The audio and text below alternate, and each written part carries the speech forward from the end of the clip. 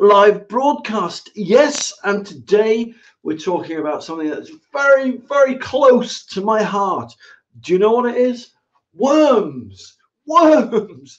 Oh man, if only you knew how great worms were. Oh man, you'd pay rapt attention to this. Worms, right? Are a, they're not only man's best friend, right? Worms are septic tank's best friend. Yes, that's right. Worms are amazing. Do you know what?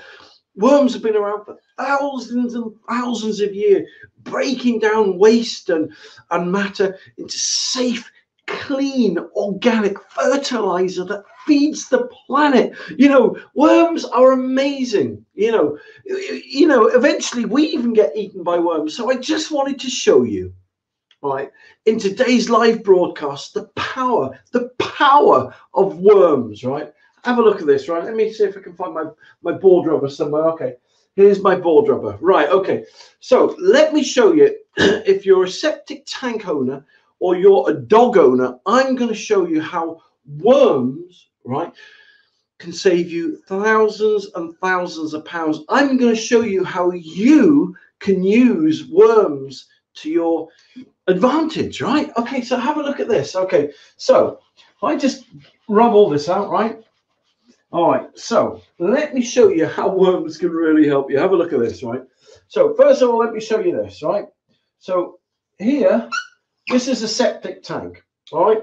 And as you know, can you see that on the screen here? I know it's a bit wonky, but uh, you know, let's just do that again. Hold on. Let's do it a bit straighter. Hold on. Oh, I don't know how much straighter that is. Is that a bit straighter? Well, you get the point, don't you? All right, so a septic tank will fill up, right? Septic tanks fill up with poo and wee and all kinds of other nasty bits of fat, grease, and sludge, right? And a lot of the fat and the grease builds up on the bottom of the septic tank here, just like so, right? Okay. So over time, that the fat, grease, and sludge builds up on the bottom of the septic tank. So if I put there, look, fat, grease, and sludge. All right. All right, there we go. There's fat, grease, and sludge. They're building up at the bottom of your septic tank, right? And it's not only that, there's something else called suspended solids. In the tank, you've got all these bits and bobs of horrible stuff. I mean, look, you go to the loo and you flush the loo because you want to get rid of stuff forever, right?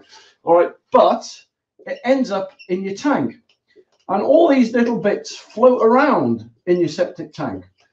It's true, but what I'm about to show you, okay, okay. So don't let this put off you, put you off your dinner or anything. I'm about to show you something really, really, really good, right? That will um, turn your septic tank into an organic composter. Have a look at this, right?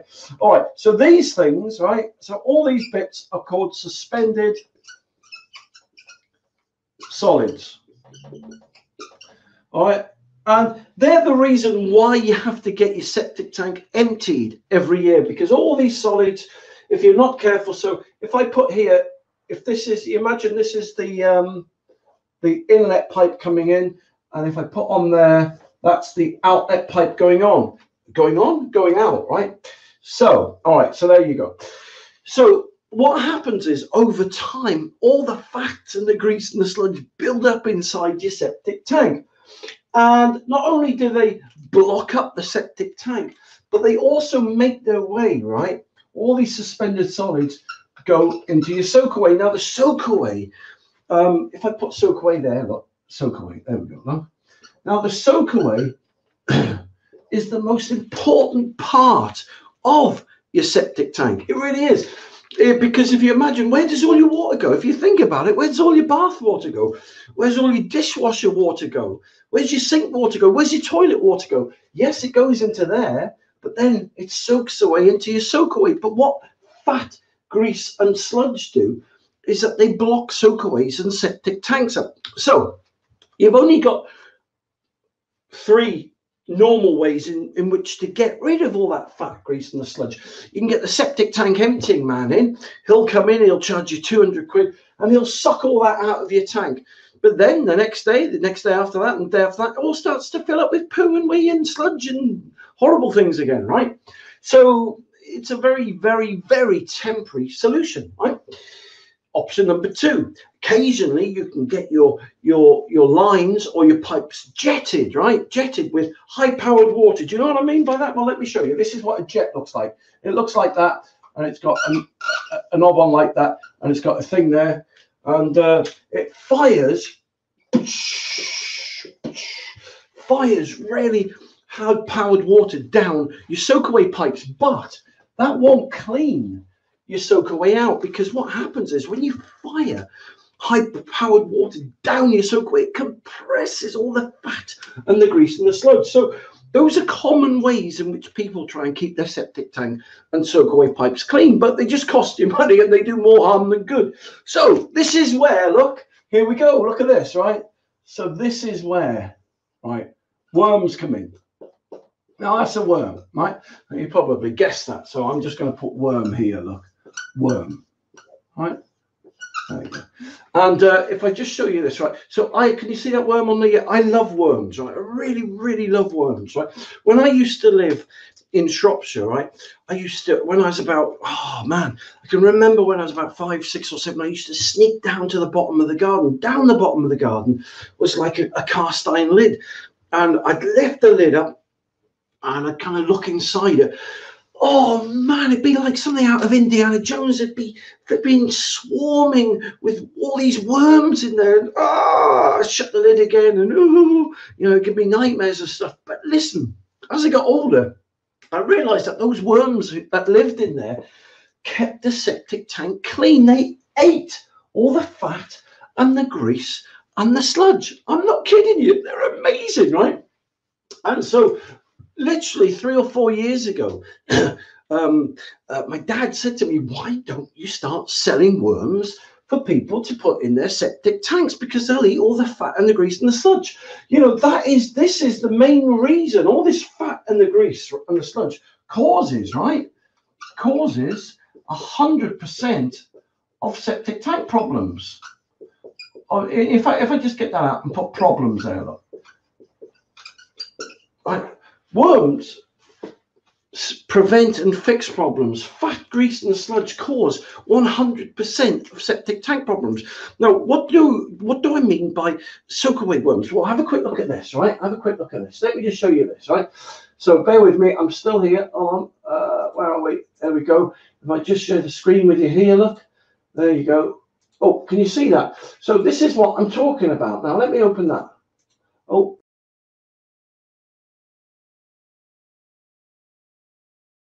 right?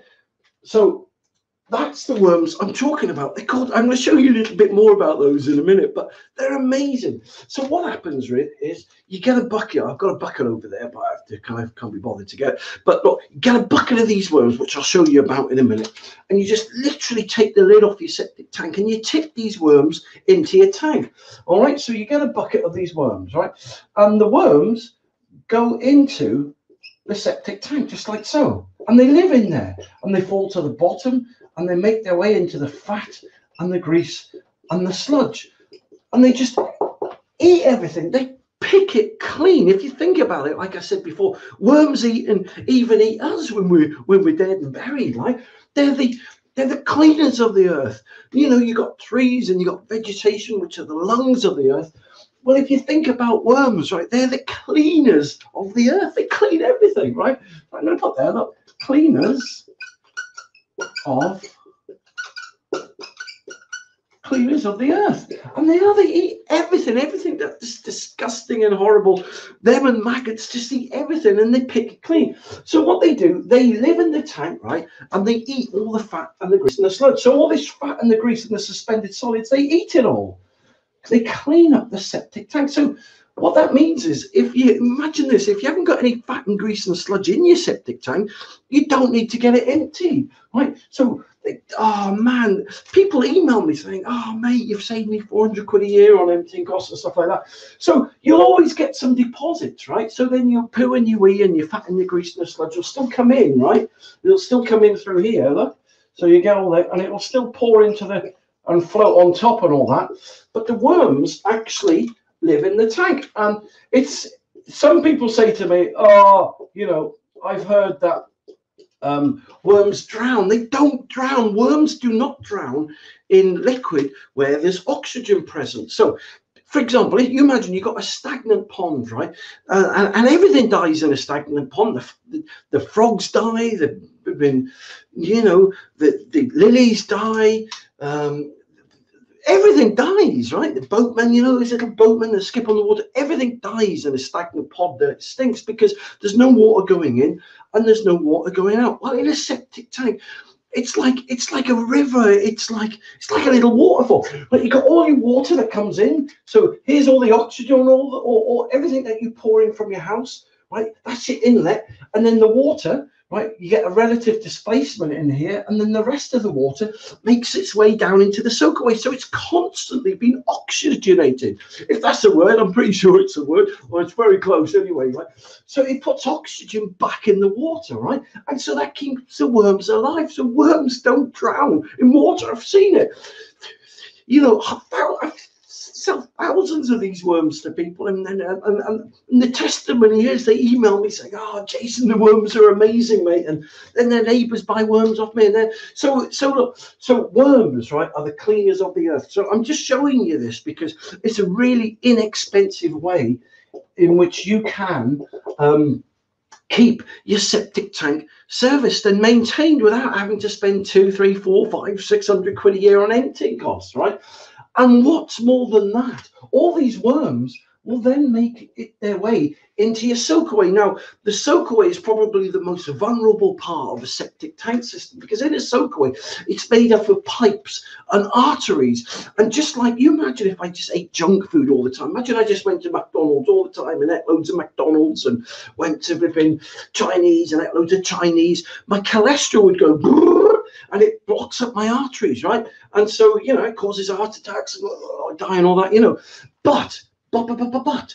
So, um, then you have to take beta blockers and you have to take aspirin to thin your blood and all that kind of stuff. Imagine, right? That's exactly what happens to soakaway pipes. After a while, all the fat and the grease and the sludge and the debris block all the arteries up and and that's why soakaways only have a lifespan of about 15 years. But, right, put some worms in there, and uh, yes, they'll live in the tank. They'll go to the bottom. They'll eat all the suspended solids, but then they make their way into the um, the soakaway, and they eat all the fat and the grease and the sludge. They probably add like another flipping 50, 60, 70 years to the life of your soakaway. So, whilst fat, grease, and sludge cause 100% of problems, worms, soakaway worms. In fact, let me put it there. Let me put this here, right? I don't know if I've got enough space on there soak away worms, right, are the cleaners. They're the ones that are going to look after your septic tank. So let me show you this, right? Let me quickly show you this. Come over here, have a look at this, right?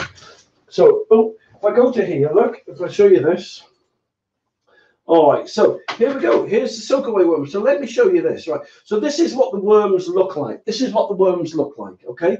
And um, and there you go. That's what they look like. That's a guy putting a bucket of the worms into the tank. They then fall into the tank. Look at that. There they are on top of the tank. And they make their way through the fat and the grease and the sludge there. And that's what they look after. So look, before and after. So if you'd like to prevent septic tank problems, if you'd like to fix your septic tank problems. Maybe you've got a block soakaway, right?